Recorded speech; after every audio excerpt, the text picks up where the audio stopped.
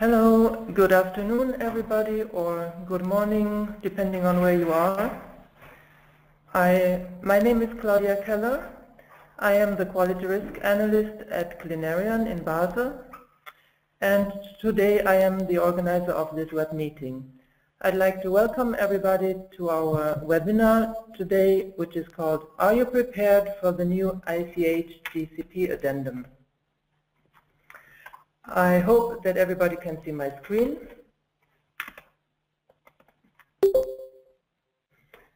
Um, what you can see now is a brief overview of what you can expect today. Um, we have basically two parts. Part number one, there will be speaker Dr. Peter Schiemann, who is talking about the implications of the ICH E6 amendment on actually managing clinical trials.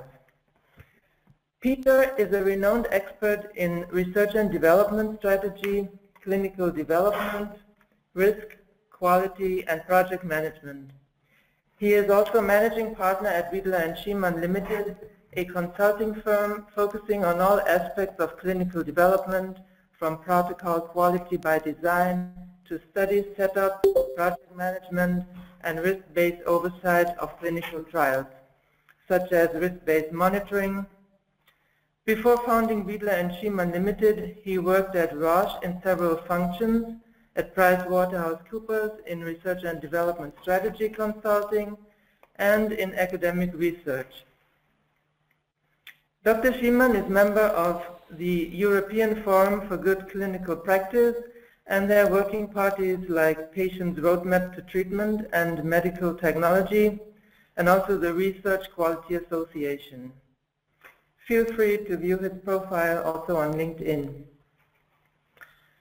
So after that, you will hear Randy Ramin Wright talking about risk-based study oversight, which is supported by the Quality Risk Radar.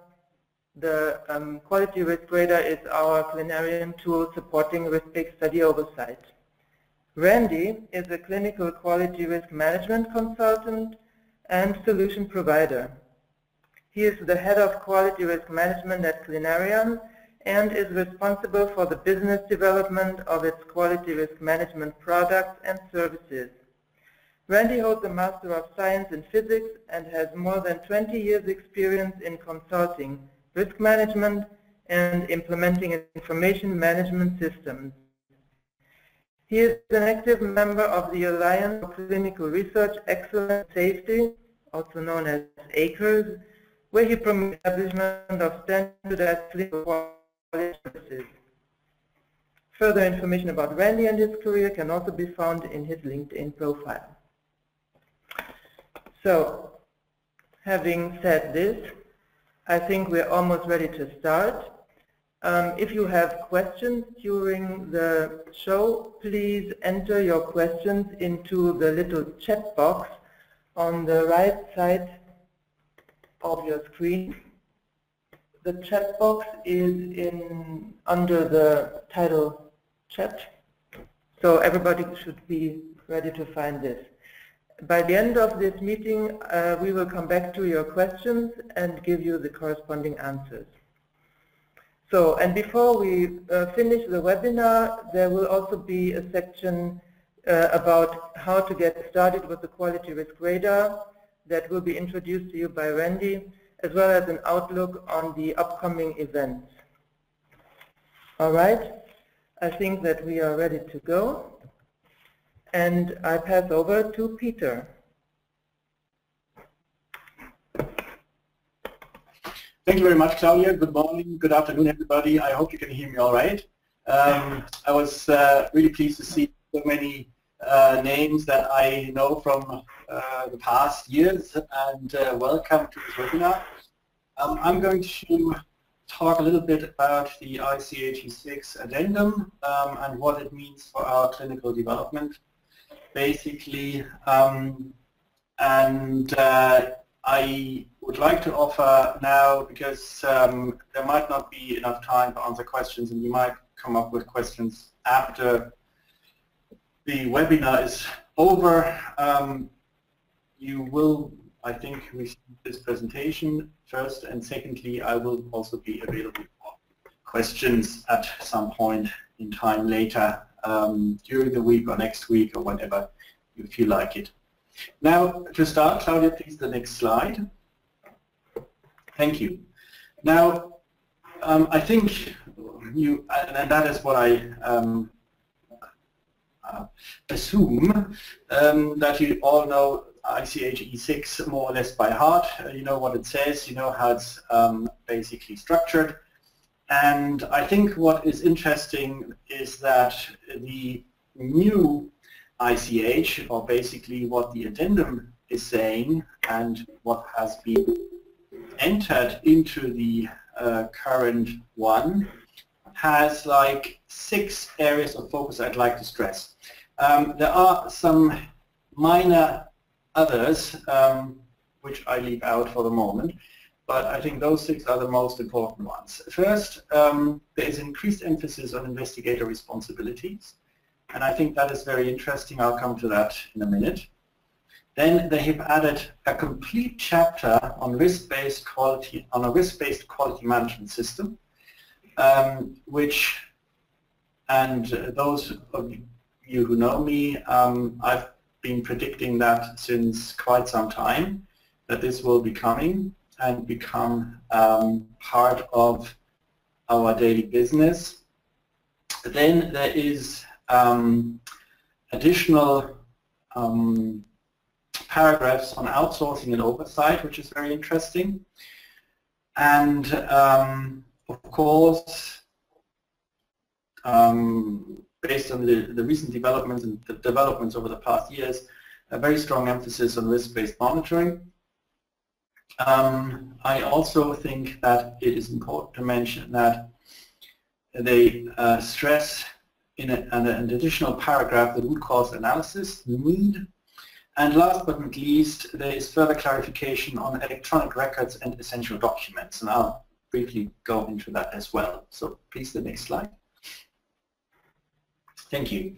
So why did they actually um, create this addendum? Because I think, in my opinion, ICH E6 was actually quite a good um, guideline for clinical research, uh, GCP, and for the protection of human subjects and the integrity of the data. But I think um, when you read those lines, uh, I've um, highlighted a bit those areas I think uh, which are important. That through the, the recent uh, developments in technology, risk management procedures, and all the initiatives that have been ongoing, that there are new opportunities to increase efficiency focus. I completely agree with that, but I think the second paragraph is even more important. And there the second line you see here. So that now we are in a position to have more efficient approach to clinical trial design, conduct, oversight, recording, and reporting. And that is a very important sentence. And you see those lines here in quotation marks, so those are copied directly out of the addendum. Um, this is, I think, one of the most important sentences in this new addendum, and I'll show you why in the next slides. Next slide, please. Now, what are the implications? I was already telling you about the six areas I'd like to go, go a um, little, you know, focus on and, and emphasize. First, the investigator responsibilities. Uh, of course, we know the investigator has certain responsibilities, also according to the quote-unquote old ICH, E6. However, um, here they've added sentences that are basically um, even increasing that responsibilities if you could. And you see this again in quotation marks, so this is directly uh, copied from the text. And I think it's very important to see that it says, you know, the investigator is responsible for supervising any individual or party to whom the investigator delegates study tasks. And those of you who have been a monitor or are a monitor or have been working in that area know very well that investigators very often, well, I shouldn't say abuse, but um, delegate tasks to the monitor uh, that actually are theirs. For example, getting their filing in order, etc. Um, so here, um, this sentence applies to that, um, funnily enough. And the second one is even more important because it says if the investigator or institution retains the service of any party to perform such tasks, they should ensure this party is qualified. And I think that is another sentence that is important, especially um, here it was in the past not so clear that this is the investigator responsibility. Uh, it was always, you know, said, okay, the sponsor needs to make sure that the site staff is adequately trained and, and needs to make sure they have procedures and so on and so forth. Here, um, those two sentences basically shift more responsibility to the investigator. Very important piece. Next slide, please. And I'm coming to that uh, again um, later. The risk-based quality management system.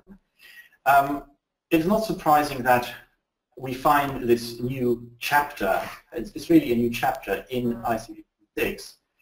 And um, it is basically structured into uh, those categories you find here, critical process data identification, risk identification, evaluation, control, communication, review, and reporting.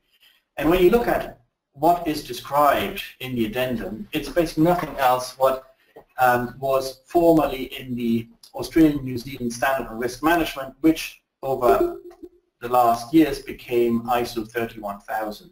So basically what they have put in for a quality management system is basically uh, the generic risk management procedure. And this is very important, especially the sentence I've copied here again, sponsors should implement a system to manage quality throughout the design, conduct, recording, evaluation, reporting, and archiving of clinical trials. So basically, they, um, with this addendum, they require a uh, quality management system in place that is based on a risk-based approach. And um, basically kind of reflects what the EMA has also uh, written in their reflection paper. Next slide, please. Then there is um, one very interesting, uh, two interesting uh, sentences on CRO and oversight. Um, and I think you know, those of you who work in uh, QA uh, are familiar with inspections and audits, um, probably know that over the past years, the majority of the findings in inspections and audits have been lack of oversight or issues with oversight um, regarding CROs, third parties working on behalf of the sponsor. And here they added two sentences that are actually um, increasing that requirement. So any trial-related duties, and I think the second one is even more important because in the past it has happened very often that um, CROs, um, for example, when they did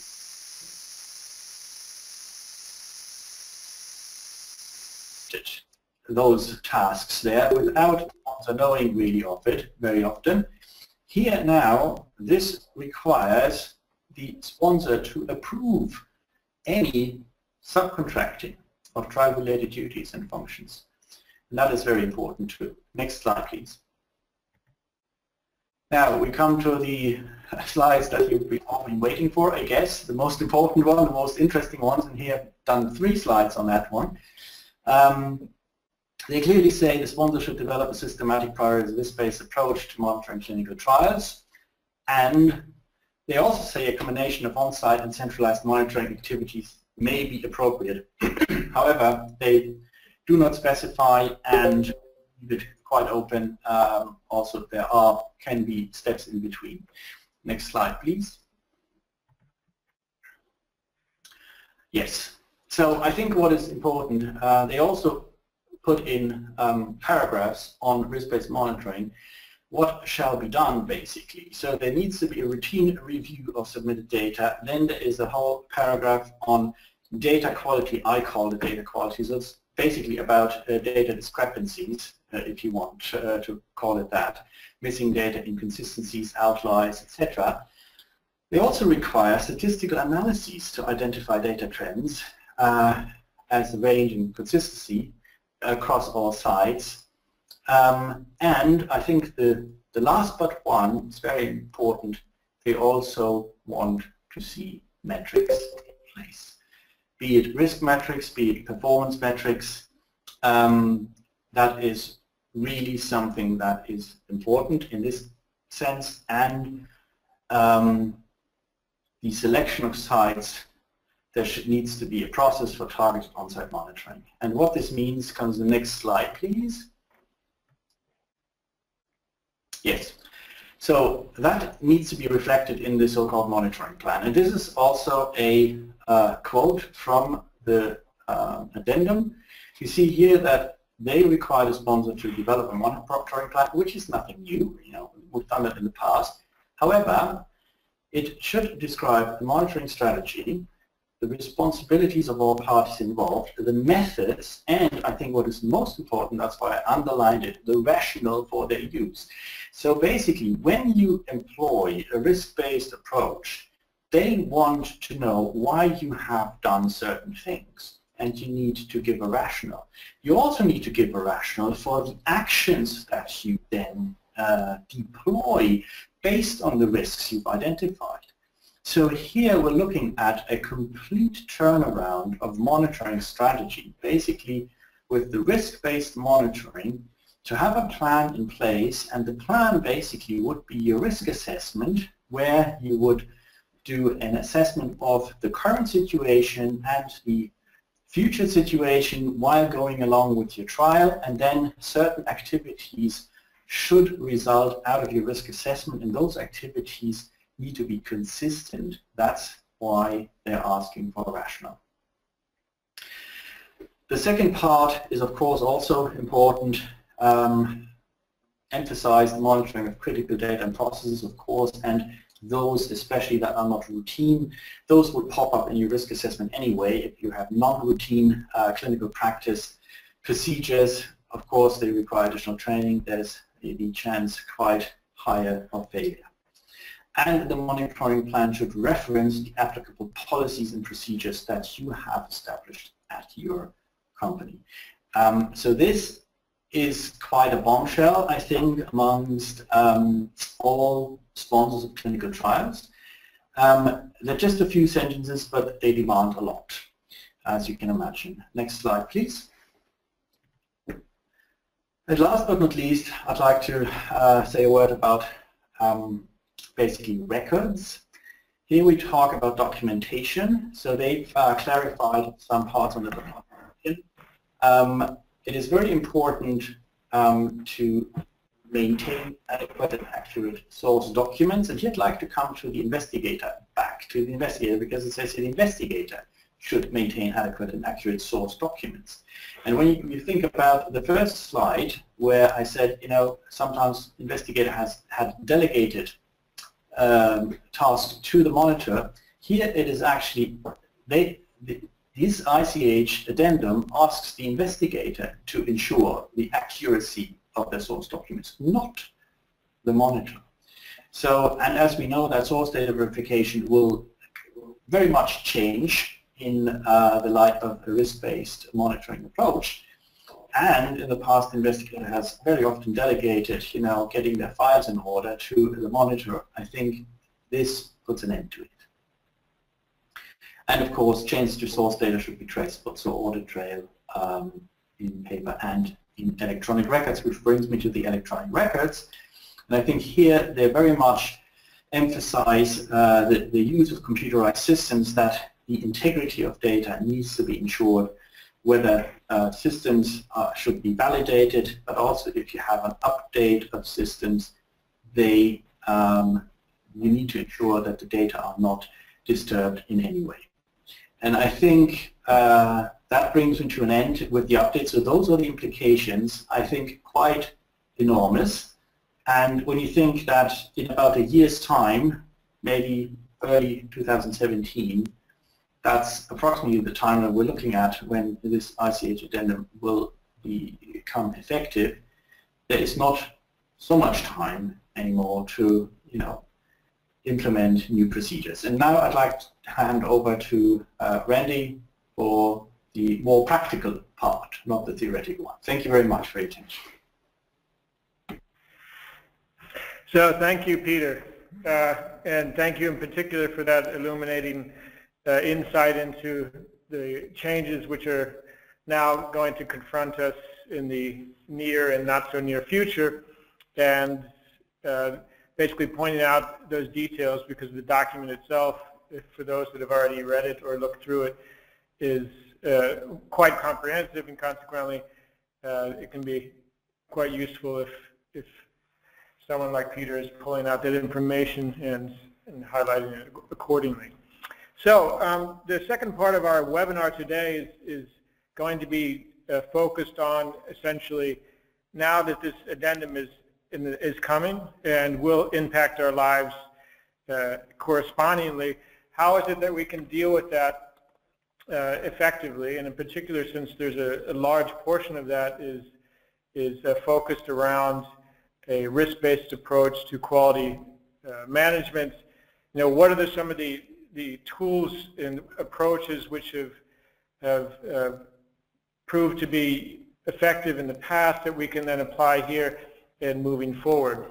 And so that, having said that, what I plan on doing in, in, the second half of the webinar is essentially to point out how uh, our existing technology uh, serves this purpose, how it, it, addresses the various points within the addendum which uh, Peter highlighted. And in particular, as you can see here on this slide, uh, here are some of those key elements which are being addressed by uh, this technology. Um, however, due to the nature of the limited time today, I won't be able to go into all the points. So for example, regarding the clinical trial design, uh, we have a risk assessment in place which addresses those aspects as well, but uh, I will be focusing on a, a, different part of all of that. Uh, Claudia, can you go next slide, please?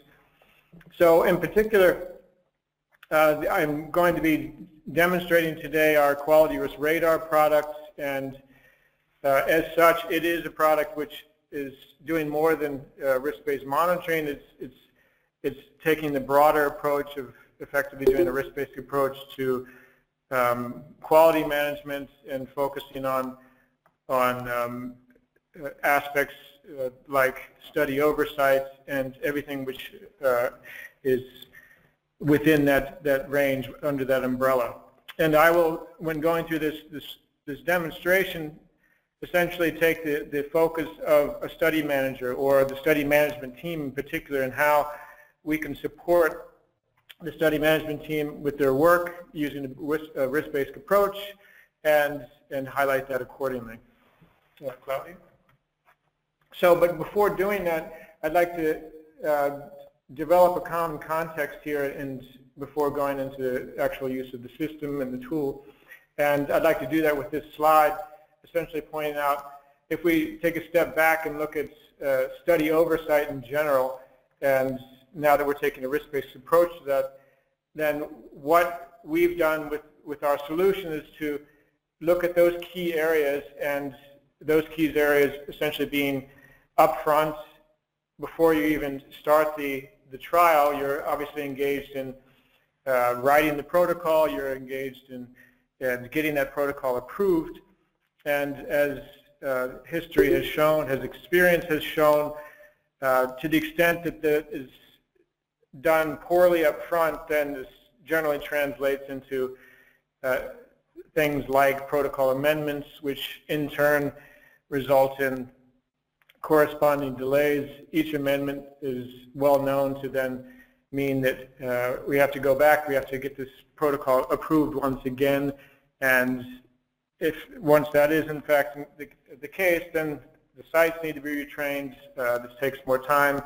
Uh, depending on the, the nature of the trial, it can be quite extensive, globally speaking. And so it behooves uh, the, the initiators of the trial to really do their best up front to avoid those sorts of activities. And that area, this whole planning phase of the clinical trial and a risk assessment is devoted to that. Uh, we call that the study quality risk assessment. And, and that is uh, addressing various aspects of that, addressing um, risk uh, aspects such as uh, essentially the whole design of the trial, what aspects are associated with that as far as uh, setting up that trial, everything ranging from financial aspects to uh, uh, informed consent to um, looking at things like um, um, different aspects of, of working with certain vendors which could be involved, could have a, a new mix to um, the undertaking. All these things are then um, incorporated in such a risk assessment and would be involved and, and executed before one actually goes to the, the IRB to seek approval and, and thereby increasing the, the likelihood of avoiding those protocol amendments downstream. However, for today, we're going to focus on the, the risk assessment, which is dedicated towards an ongoing trial. So this is on this diagram focusing here on the, the actual uh, trial site risk assessments. It's telling you, um, you know, what and how well are your sites performing uh, based on what the protocol is, is telling them and assessing that risk and doing that on an ongoing basis. So there's regularity here. It's not a, a big bang approach where we take one risk assessment and that's the end of the story. Uh, quite the contrary, it's an ongoing process. Typically it's, it's done on a monthly basis and based on those risk assessments, uh, the, you, the study management teams are receiving an updated uh, uh, risk assessment which tells them their degree of exposure throughout the, the trial and based on those, those signals which come out of that, it is a natural input to adapting the various functional plans that you have coming to bear on such a clinical trial in any case. But in this situation, what we're doing is we're applying those risk signals to then adapt the, the functional plans uh, as appropriate as, and doing that in a very systematic way. And here down below on the slide is pointing out the various kinds of functional plans which uh, uh, could be impacted by this. As Peter pointed out, the monitoring plan would be, certainly be one key uh, functional plan which would be addressed with uh, this trial site risk assessment. And we'll take a closer look at how that is involved and how that uh, could be affected based on these risk assessments. All in all, when you pull it together, you could you have a corresponding integrated quality uh, risk management plan, which you can use from a strategic perspective when you're carrying out your risk-based approach to uh, study oversight. So um, with no further ado, I would like to then transition into the actual demo. And uh, let's go ahead and do that. So to make that happen, Claudia is going to pass the uh, control of the GoToMeeting to meeting to me so I can then log on to the system and then give you a closer look at what's going on there. So show my screen. So um, looks like you can see my screen now. So what is the Quality Risk Radar? So in general, it's an application which is a web-based application. So it's available in, any, uh, in most leading web browsers. Uh, I'm going to log on to the system and uh, the system will start off by showing you a, a, dashboard and the dashboard itself is, is, is telling us a number of things. So first of all, what it's telling you is it's, it's a reflection of the, of the basic risk model which we uh, have implemented here.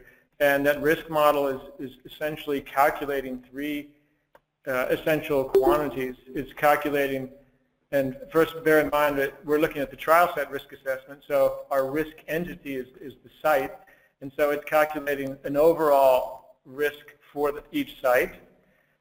Uh, beyond that, it's also calculating so-called structural risk of the site. So what is the structural risk of the site? These are the, the, the risks which are inherent in each site. So it's, it's saying and, and telling you things like um, does this site and its personnel have experience in GCP? Have they uh, any training in uh, GCP? Are they even aware of the fact that, that there's an amendment coming? Are they here at this particular webinar? or not and the like? Uh, do they have experience, for example, in the therapeutic area which the, the protocol is engaged in? And, if, and these various aspects are then um, those risk factors contributing to an overall structural uh, risk assessment of that site. And that being in place, you, we then also look at at, at uh, the site process risk. So how well are they executing the trial? So if you look here in the upper right hand, it's, it's giving you a flavor of that. It's, in this uh, example here, it's saying that in the dashboard, it's saying it's showing all the results of the site risk assessments for all the studies in the system. And in the case of the process risk, it's saying that these are the top three uh, key risk indicators. So these are, so to speak, the, the, the top three uh, offenders. So if we were then to uh, take a look here, we could see that you know, they're having primarily problems with protocol deviations, so they're not in full compliance with the protocol. If we look out there, the, uh, beyond that, we have uh, a higher than average number of adverse events uh, going on here. And uh, we also have a significant contribution of, of risk associated with slow enrollment. So um, the original planned enrollment uh, rates are not being met, and that's cause for alarm. And this is giving you those first indication of that. Uh, here regarding trending, this is uh, simply an, an initial indication which says that as I pointed out before, we're doing multiple risk assessments, and so this is saying that since the last risk assessment, the trend is either moving upward or, or, downward, so the risk is either increasing or decreasing since then, and that's a reflection of that. Uh, additionally, and quite importantly, it's not only about calculating risk and showing you lots of pretty pictures. At the end of the day, we want to make sure that we empower you to actually mitigate that risk. And uh, in order to, to make that happen, we have a other part of the system engaged in site risk, risk mitigation. This is a quick overview of, of all those particular risk mitigation tasks which have been created by the system and giving you that overview. There's new ones here. Some are in progress and some have been already worked on and closed. You can then drill down and take a look at that. We'll do as well. But ultimately, let's start by looking at the, the overall site risk and see what that's telling us. So here at the top, it's saying that, and this is what I'd like to point out, uh, our risk model is, is, is in full compliance of what uh, uh, Peter had just indicated here. When we do risk assessments, we always calculate risk relative to patient safety as well as data integrity. And so you're getting the, the full information based on the two primary risks. So what we're seeing here on the dashboard is saying that relative to, to the 51 sites currently in the system, uh, it's telling you that regarding patient safety, things are looking quite well. Uh, we, most of it's in low risk category. 47 of the sites are looking quite well, but versus looking at the data integrity there is where there's some problems to, that, that need to be have uh, take a closer look at. There we, and we're going to go ahead and take a look at the data integrity to give you an example of that. So now I'm playing the role of somebody in the study management team. This is my first view of the dashboard. I would then drill down from here to uh, get a better understanding of this. And since I said we're going to take a look at data integrity, let's in fact stay with that focus. And because I'm also a member of the study management team, then of course I'm working on one or more studies, and we're going to focus on one of the studies. So I'll choose one of the studies out of the system. So I'll choose this study here. And so what is this telling us now? It says that for my study here, K023, uh, this study in particular is, uh, has, I believe, yeah, it has 32 has 32 sites in it that are already enrolling patients. Uh, initial overview here is just telling you, you know, where the sites are all located. Some are in, in the U.S., some are in Canada. Further downstream, you can see Poland, the Czech Republic, and so on. But uh, more importantly, what it's telling you is, is it's giving you the results of those risk assessments.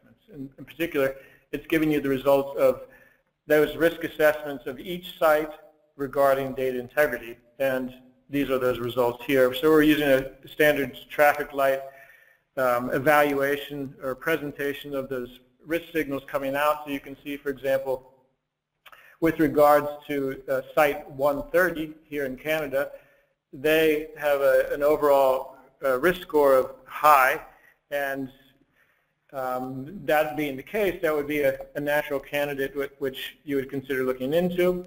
And so as a member of the study management team, I could then, then delve down into this. I could, of course, uh, also filter here, and it would tell me all the sites which are at, currently at high risk with regards to data integrity. And so let's stay focused on 130. I'll drill down here. And now the, the system is essentially doing a number of things. So it's telling me for site K023 and site 1, I'm sorry, study K023 and site 130 to stay focused on, on, the, on the data integrity. It's saying that the overall site risk is high, as we pointed out before. But just so you have a better understanding of, of what is, is calculating here, the basic structural risks, so there's risks that are inherent to the site, started off as a low risk, as you can see here. However, in the course of the trial, what we found out when we calculated those uh, process risk factors, or the KRIs, six of the 13 KRIs went beyond their quality thresholds. And due to this contribution of the process risk, the overall risk score was then evaluated to be a high risk. And um, as illustrated here in these graphics. And um, beyond that, I don't think we have so much time here today, uh, but here in the upper right, uh, just to give you a, a flavor of, of, the underlying uh, risk model is simply saying that when we went about to do these risk assessments, at the very beginning, we applied a methodology called the failure mode effects analysis, which essentially says let's look at the underlying process here and identify those activities or uh, modes which are likely to fail, and if they do fail, what sort of impact would they have on the organization? Um, how likely are they? And, and how, to what degree are we able actually to, to detect these risks? Uh, uh, and that combination of those three then are translated into an overall risk score, which we're looking at here. So as part of this the study management team, of course, the question arises, you know, well, what are these process risks? You know, how can we deal with them? First of all, we need to know what they are so we can have that identification. And once we know that, then we can do what Peter had made reference to before by drilling down here. And now it's uh, going back to data integrity. It's then showing you that, you know, which ones of those six are, in fact, beyond their quality thresholds that's what you can see here. And then listed here with the red signals. Uh, for example, one of them is lower than average number of adverse events or higher than average early terminations is, is two examples of that. And so right here, you already, from the get-go, you're giving or getting a, a direct uh, view of, of where the risks are coming from. So we're already seeing a, a targeted uh, approach to those risks here, which you can then very naturally use to as a basis for going forward and doing uh, mitigation. But before we do that, let me just uh, pick out uh, a couple of these KRIs and give you a, a, feeling for what it is that's being um, addressed here, what's being calculated here. So just taking the first one, uh, lower than average number of adverse events is what we're calculating here is essentially um, a ratio, but in particular what we're doing is we're comparing the number of adverse events reported at the site and comparing that to what's going on uh, at the country level. And, and based on that, we are then in a position to determine whether or not uh, they have some sort of outlier activity, some sort of unusual activity, which would warrant uh, further inspection. Consequently, the, the, the red signal here. And uh, similarly, if we look at, at, for example, higher than average early terminations, we have a, a similar results, but in this case, what it's doing is it's looking at the site and again, comparing that results, how many early terminations do we have, how many dropouts, how many patients are, are leaving the trial, but in this case, it's, it's comparing it to the overall study as such. And we do this also in such a way that it's um, a normalized approach. So even though some sites or smaller sites have fewer patients, then uh, in order to properly compare these things, we, we normalize that and uh, by comparing, for example, the number of AEs, it's number of AEs uh, per visit per site, and then it's number of AEs per visit per country, and then based on that we can get a fair comparison. Um, okay, so that's been showing you the results at the study level, I'm sorry, at the site level, which, which uh, risks have been identified that have contributed to that overall high risk score.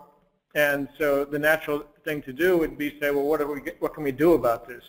And so what the system uh, then allows you to do in the area of, of, of site risk mitigation, if we go ahead and navigate there, it's then, um, first of all, the system is set up and configured such that based on certain conditions or rules, it will automatically generate uh, risk mitigation tasks based on the, the risk signals which are coming out of, of the assessment. And in this case, what, what we're doing is we're looking at the Site 130. So let's go ahead and, and uh, well, first of all, let's look at all the tasks. And let's look at Site 130. We're going to filter on that. It's now uh, showing you, as you can see here, these are the six KRIs which went beyond their quality thresholds. So once again, we can see uh, what we were just talking about here, lower than average number of adverse events. Uh, uh, in particular, we have um, so higher, higher than average early terminations, and so on. And so uh, this is then the part of the system which says, if I now want to take a look at this, and this is what's typically the case, so let's go ahead and drill down and choose higher than average early terminations, then this is then the basis for a typical input to a regular review of the study management team looking at the sites which, I'm sorry, looking at the risks which came out of the system, this being one of it. And then this is where they would then engage in a root cause analysis. So as Peter had pointed out before, uh, this part of the system allows you to, on the one hand, capture the results of those risks, uh, root cause analyses, and at the same time classify those results um, so that they can be uh, reused later uh, as you move forward. But in particular, if we take this example, higher than average early terminations, the typical question which arises is, well, what was or what could have been the cause of this? So typically it's either going to be due to medical causes or non-medical causes. Um, why are they then um, dropping out of the trial? If it were a medical cause, then I would also expect that uh, our key risk indicator would have fired, for example, higher than uh, average number of adverse events. In our example here, that was not the case.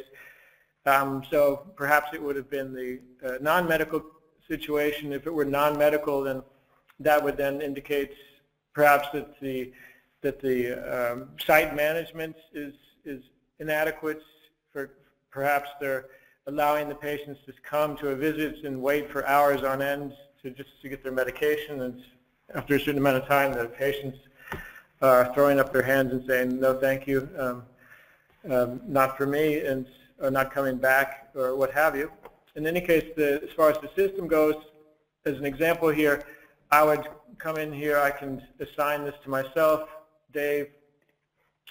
Uh, what it's telling me now is, is the system also, and this is another aspect which Peter had made reference to, it has a full audit trail in the system, so we can track whatever changes are made to the underlying data as such. So, I mean, here we're simply doing an assignment here. I'll just keep it simple. It updates that I'm now assigned to this task. And now, um, I, being a member of the study management team, would then record the results of our root cause analysis here. So in the example I've just provided, then it's, it could be the case that um, system's also telling me to keep using the QRR. Um, the, so here we record what is in fact the root cause. Could be one or more of them. Uh, based on that result, we could then record that here. Here could an example of uh, resources lacking, insufficient resources, as I gave for the argumentation. Um, you know, one person was on sick leave, um, and then, you know, or what are you going to do about it? Again, these are a listing of uh, results of this uh, failure mode effects analysis which came out of it. What are the typical reasons which are resulting here? In which case you may need to have, do a site follow-up, essentially assign somebody to this, so have Mike do that, and essentially, uh, you know, talk to site management and ensure uh, adequate resources. And of course, you need to plan this. This is very urgent, so we're going to only give them by the end of the month. And off you go. Okay, we updated root cause and mitigation action. And this is then the basis of moving on. So if we now move back to the overview, it's showing that here. So it's saying that, oh, okay, for this risk which came out of the system, we now have a, assigned it to somebody in the team who's going to track that. It's in progress, and uh, we this is something which then goes about, and then the system will allow you to, to do this.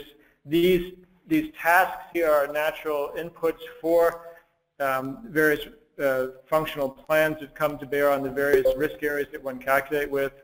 And um, that's uh, pretty much what I wanted to cover today for our brief demo of the system. The system itself um, does uh, significantly more than this, but um, I think this uh, gives you a, a good overview of, of that. So if I were to um, come back to, to here or, or the site risk in, in general, um, you know, I think this would probably be a good opportunity to field some questions uh, regarding the demo, regarding what uh, Peter had to say.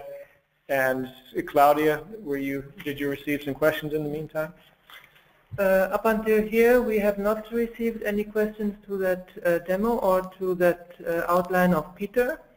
So you please feel free to enter any questions you have. In the meantime, I think we can then go back to the slide. Mm -hmm. And Randy could continue with his um, presentation on how to get started. Yeah. Okay. Thank you very much, Claudia. So um, obviously, one of the first questions which arise is, you know, how to proceed. How do you get started with all this? So if now that this addendum is coming up, now that the the international community is expecting you to engage in a risk-based approach, uh, what are some of the tried and true ways of doing this and doing it uh, effectively? Um, what I have viewed here is uh, the ways that we recommend what we've done in the past and have been successful. On the one hand, you can, uh, as indicated here, go to a website and essentially register for our so-called Try Me application. You can then try it out for yourself. It has data loaded into the system already, that's uh, not a problem. You can immediately uh, get a, a, feeling for how the system is working, what it's doing for you by doing that. We've already we've done the demo today. Uh, there's other aspects which could be demonstrated as well. That's a possibility. But the most important way of getting started is, is really very much about piloting the, the approach. So to really know how this works and how it works well for you and your organization, uh, a pilot project is quite warranted here. Here we uh, um, do this uh, typically with our clients. Uh, we sit together. We, we present our standard approach for piloting. This is then typically um, configured to the, the needs of the individual clients. And the point and objective of such a pilot project is very much to say, given our data, given our situation, um, let's do a test run, let's, let's, let's pilot this, and get experience with the approach on the one hand, and on the other hand, uh, the, the underlying system or technology to make that happen. Uh, this is very much about a data-driven approach. It's, it's making this a risk assessment uh, objective. It's making it very systematic and can be applied across the board. And at the end of such a pilot project, you then are in a, a, a position to decide how to proceed. Typically, one proceeds then by then scaling out, uh, essentially bringing in more studies into the system and proceeding uh, onward uh, as such. Um, Claudia, can you go to the next slide, please? So uh, in conclusion here, uh, in terms of our outlook, I just want to mention a few points. Uh, we uh, have a next webinar also um, planned, uh, in particular a webinar which is uh, focusing on um, what we on something called uh, spirometry key risk indicators. So what is that? It's what we discussed today was uh, in particular focusing on operational risks. So those risks which are common to essentially any clinical trial moving forward. And uh, we also have the capability to then focus on on therapeutic area specific risk assessments, so be it oncology, be it spirometry, be it uh, other areas that you may be focusing on as your particular organization. Uh, that's also applicable here, and this would be addressed in the next webinar. And uh, beyond that, the uh, upcoming new release of, of our system is going to be available by the end of November, uh, and is uh, with the new analytics and user interface in its entirety. And so, uh, and that being the case, I'd like to, uh, if there are no other questions, no, there are in fact a, a question came in from uh, Dimitri. Uh, Dimitri was asking, how do you set the thresholds for action? So, uh, good question, Dimitri. Basically, the the uh, the system, uh, as in order to be quite adaptive, is is designed such that we you can configure those those um, quality thresholds. So we have an interface which uh, allows us to do that. Um, I could uh, log onto the system and, and, show you that again. But in general, essentially when we go into the so-called reference data of the system, we have the key risk indicators defined as metrics, and within that we have an interface which allows us to change the, the various thresholds as appropriate, and, and that flexibility is available. All right. Yes. No further questions until now. Okay. Um, good. So uh, in closing, I would just like to thank everyone for their time today. Uh, we're glad to be able to share with you the, some of our insights into the uh, addendum as well as how we can support you in moving forward with those changes and how they impact you. And as usual, we try to both provide you with uh, a theoretical uh, basis as well as a, a practical means of moving forward. And with those two, then generally you're uh, in a good position to be successful. So um, once again, thank you very much. And I look forward to um, talking to you later. And otherwise, have a good day and goodbye.